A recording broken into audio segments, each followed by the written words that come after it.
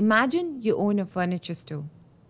You receive an order for 50 chairs from your customer. As a business owner, you would raise an invoice detailing all the items to be sold, their price, quantity, payment due date, and share it with your customer to initiate payment. This financial document which you send to your customer is called an invoice. This is how invoicing works. You first create an invoice, send it to your customer, and then you get payment from them either in person or online. Finally, you record the payment and mark the invoice as paid. We'll learn about the Invoices module in Zoho Invoice. In this video, let's see how you can create an invoice. Log into your Zoho Invoice account. Go to the Invoices module Click the plus icon next to Invoices. Choose the customer that you wish to share the invoice with. The invoice number is auto-generated. You can also choose to add it manually by clicking the gear icon. Enter the order number for the invoice. Choose the desired payment terms. The payment terms helps you avoid delays in payment collection which directly impacts the business's cash flow. The due date will be automatically filled once you set the payment terms. If you wish to set a custom date for your invoice, choose this option.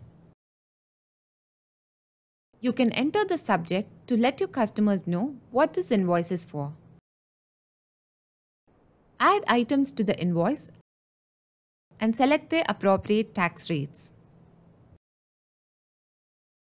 Add discounts and shipping charges if you would like to. You can also add customer notes, terms and conditions, if any. If you wish to configure online payments for this customer, click here to view the payment gateway options for this invoice. To attach files to this invoice, click Upload Files and save the invoice you have successfully created your first invoice.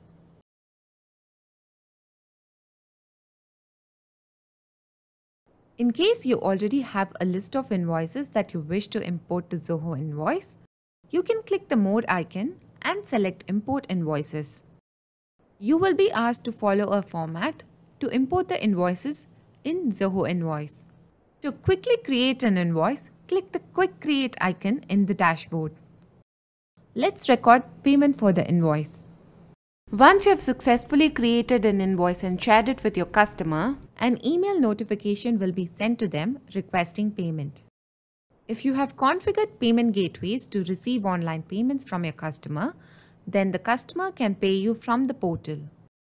However, if the customer pays you offline, you can manually record the payment as well. To do so, Go to the Invoices module in the sidebar and select the invoice that you wish to record payment for. Click Record Payment, verify the details and add notes if required. Click Record Payment to confirm action. The payment for the invoice is now recorded. You can go to the Payments Received module to view all the payments. You can also edit the payments and delete from here. Let's look into the functions that can be performed upon an invoice. You can edit the invoice, send it through email or SMS, share it via public or private links, download and print.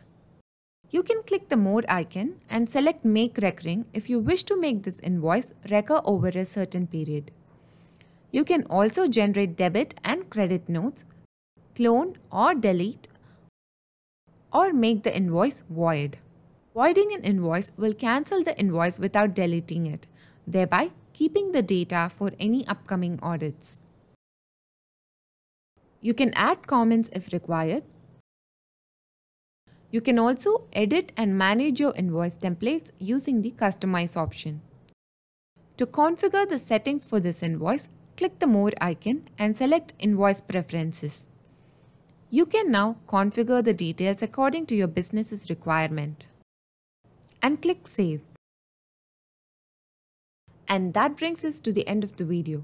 We hope you've got a good understanding of how you can create an invoice. and the various functions that can be performed upon it. If you have any queries, feel free to contact us at support at the rate zohoinvoice.com. If you find this video helpful, do like, share and subscribe. Click the bell icon to get further updates from us. Thank you.